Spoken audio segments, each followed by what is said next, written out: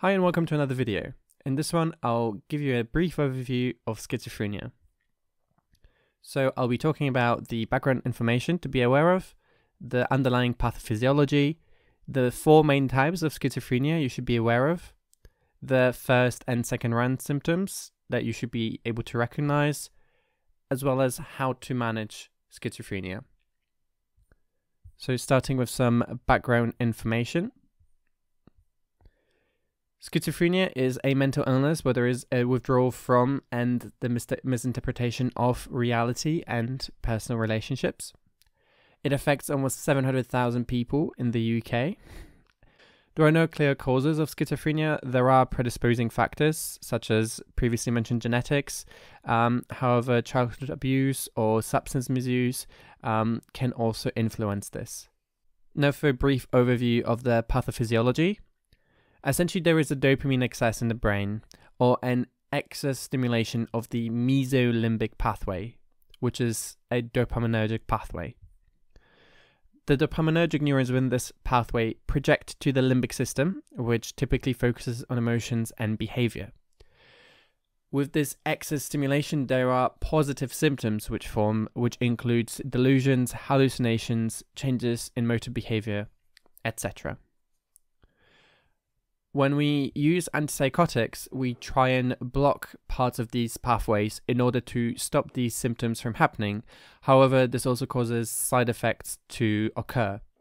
There is a video on antipsychotics I will link down below that I have created, which goes into the different pathways and the underlying pharmacology a bit more.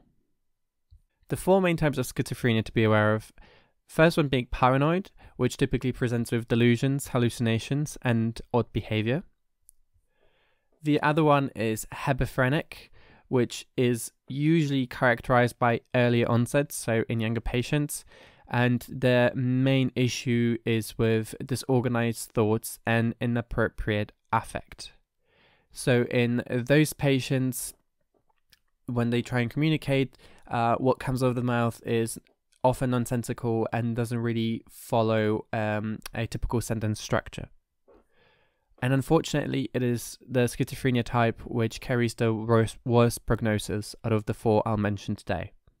Catatonic schizophrenia is presenting with rigidity, posturing, and stupor, and therefore the symptoms are typically physical, so the patients are able to sit still in one position for hours. Um, they lack facial expressions and they are not very talkative. Lastly, there is residual schizophrenia, which typically presents with one year of negative symptoms and is preceded by a clear psychotic episode in the past. In terms of clinical presentation, I will talk about first and second rank symptoms.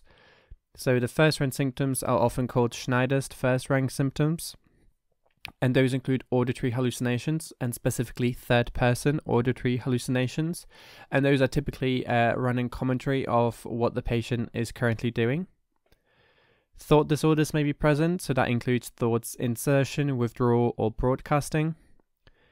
Passivity phenomena may be uh, observed which uh, means that the patient feels like their actions emotions or feelings are controlled by an external force and you may have delusional perceptions where a patient misinterprets a real perception um, and there's no logic behind it. So, for example, a patient will be driving a car um, and the light turns red, and they interpret it as, for example, the patient, the aliens are coming to invade the city later this afternoon. So, no logic can be followed from the way um, they interpret the real perception.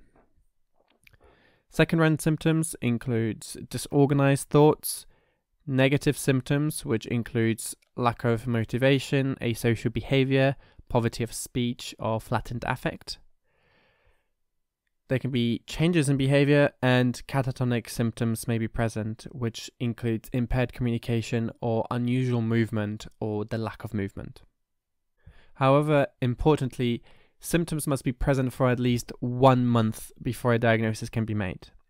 However, only one first rank symptom is needed in order for the diagnosis to be made, as long as it's been present for at least a month.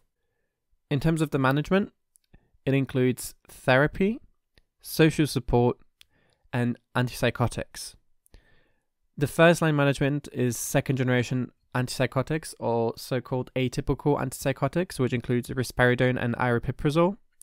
The second line management would include the first generation antipsychotics or the typical antipsychotics, such as haloperidol or prochlorperazine. In patients who have tried multiple types of um, the first or second line management and see no improvement of symptoms, um, you can try clozapine, which is typically um, for the so called drug resistant schizophrenia, and it is also a type of a, um, a second generation antipsychotic. Lastly, I would like to discuss some of the poor prognostic factors for psychosis or schizophrenia. Gradual onset, low IQ, prodromal phase of social withdrawal, and strong family history indicate that the patient might have a poorer prognosis compared to someone who has none or fewer of these factors. This was a brief overview of schizophrenia. If you have any questions, feel free to leave them down in the comments. Other than that, thank you so much for watching, and I hope you consider subscribing.